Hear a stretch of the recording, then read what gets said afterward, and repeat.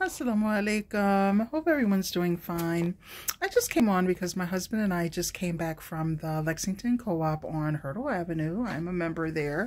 Um, check them out. Support local business, local farmers.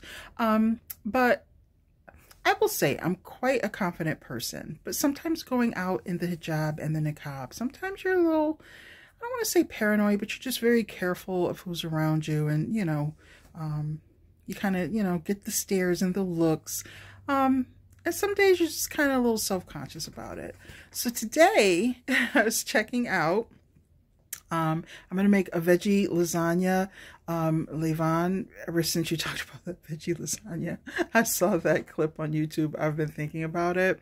So I went to get my ingredients and the cashier, I don't think she was Muslim, but she was just like, hey, she was like, I like this. She was like, that's really cute. She's like, I like this. She's like, mashallah. And I was like, oh my goodness, thank you so much. And it just kind of came out of nowhere. I don't know if she was Muslim or not. I did give her the salams. It was very nice of her to give a compliment. So I'm saying all that to say, just be kind, give a smile, give a cute compliment. If someone's wearing something that's nice, let them know just simply say have a nice day. A little bit goes a long way and you never know what people are going through. So sometimes they just need a little bit of positive interaction.